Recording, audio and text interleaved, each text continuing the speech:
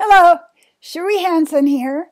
First of all, always gratitude for watching my YouTube video, which I will be posting up on the channel. Uh, also, I would ask you to do a step further and like and subscribe to this channel. It would be fantastic and I would appreciate it so much.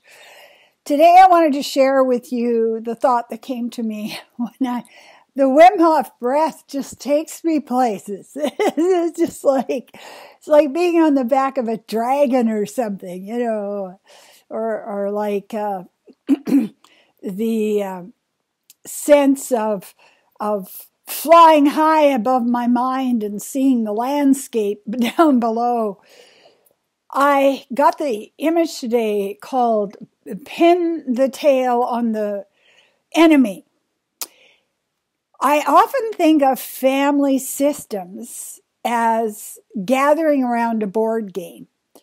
The game is laid out, it's been laid out by your grandparents, by your ancestors.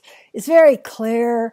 You know that you've got the thimble or the racing car, that's yours. And this is the board. Let's put it down. Let's, we know what the rules are. But the thing that's interesting is to look at family interactions as a board game. Uh, so many people that I coach tell me the same thing always happens. But what they don't understand is the same thing that happens in their family is not the same thing that's happening in every family they come to project their particular uh, winning and losing and keeping of points and how you move your person around their your symbol of self around the board is this way. But it's not in every family. It's a different game. And the one that I was thinking about today is the game called Pin the Tail on the Enemy. So, what people do is they try to figure out, close your eyes, put a blindfold on, spin around, and then head out into the room with attack. with attack. Get it? You got that? And you are going to pin the concept of this person being your enemy on them because they are responsible for your anger, your grief, your feeling of emptiness. Um, they're the ones. And then the whole family will decide who is the enemy this holiday. Oh, it's Brother George. He did this. Oh, he's horrible and then oh no it's our father. He's the enemy because he's doing this. And so everybody gets all hepped up and adrenalized and excited and you know they've got a team they're playing on and this team hates that team. And um, i remember one of my airbnb guests talked about how his family in iran always sat down at a holiday table and the war continued between his brother and his aunt. And it was always the same war. One would say the sky is yellow, the other would say the sky is red, and they would argue, and they would argue on different sides of everything because that's the game. The game was you're wrong and I'm right. And because you have two people that are willing to play that, it can go on for every holiday, for every family gathering, for over any kind of food you put out. Um, and they don't even understand that they're engaged in a game. They don't understand that they're in a place where they're blaming their internal emotions. And we talk about this a lot. The locust for growth is either inside ourselves. In other words, I am responsible for what I think, for my actions, for my decisions, for my times of being lost in the valley of despair because I'm simply human, or somebody outside of me is doing it to me. And the thing that's so wonderful, wonderful in our culture about victim mode is it gives us so much energy.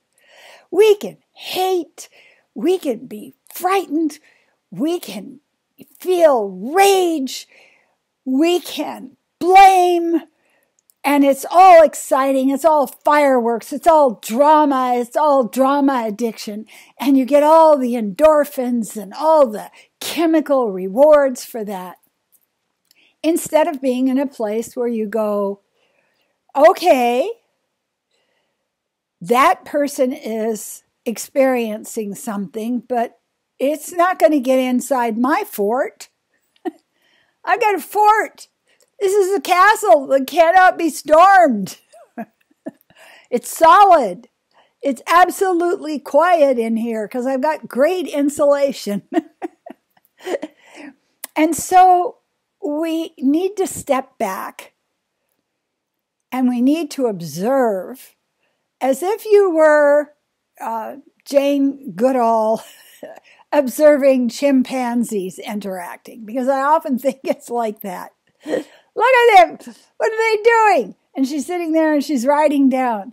So this helps me so much is I get into a place where I am a social anthropologist. I'm observing myself, this animal of me, and I'm observing the behaviors and the thoughts that are arising in me in a mindful way, not to hate on myself or, you know, to feel miserable or to, you know, lower my bucket deeper into the well of victimhood. you know, like I, I can, I can make it worse. I can really lower it down more and more. No, we do that because then we can clearly see what it is that's tempting us, tempting us, triggering us. And we can, just as if somebody came up to you and offered you a cigar to smoke, here you go. Here's the cigar of hatred. Here's the cigar of racism. Here's the cigar of, of lack and scarcity. And you can say very quietly to your mind, no, thank you. No, I, I don't want to take that into my lungs. I don't want to take that into my sinuses. I don't want to have those chemicals coercing through my body. So that was the thought that came to me today. Just the whole idea of pin the tail on the enemy. Because I cannot take responsibility for my own emotions. I am a child. I'm going to stay a child. I'm committed to this path of being a six year old or a 14 year old. Or we can go the other way and say, my body, my triggers, my life, my thoughts, my choices. And I come to a place where I am consciously creating who I am. Consciously it's kind of glorious. It's like having a, a trainer when you go to a gym and they're saying, no, you're you're lifting that incorrectly. You're not even on balanced on both feet. But you can be your own trainer and you can observe and you can suggest things to yourself kindly, lovingly, compassionately, and you can help yourself become stronger. I am running workshops out of my house this Friday and this Saturday on uh, how the personality works, where we get our decisions from, how we make our choices. The goal is to get people more aware of that kind of subtle influence that's working in our lives. Contact me if you're interested.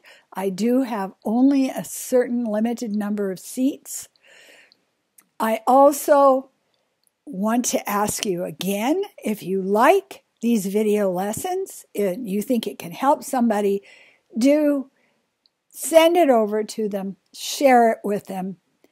Also, to like and subscribe would be fantastic. Thank you.